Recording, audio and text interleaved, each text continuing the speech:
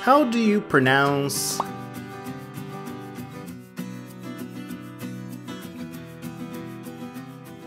lateral cutaneous branches of the intercostal nerves?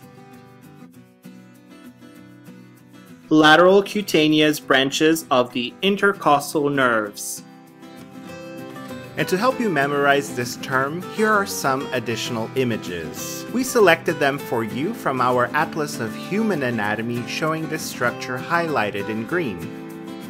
Oh wait, and there is more. If you're interested in learning the anatomy associated with this term, we've added some links on this video's description box where you can find all the material you need to become an expert on the lateral cutaneous branches of the intercostal nerves. Knowing how to pronounce this term is one of the many things you need to do when learning human anatomy, so you're not done yet. Continue learning with our fun videos, interactive quizzes, detailed articles, and stunning atlas connected to this term. Click on the button in the middle to find everything you need to become a master in human anatomy.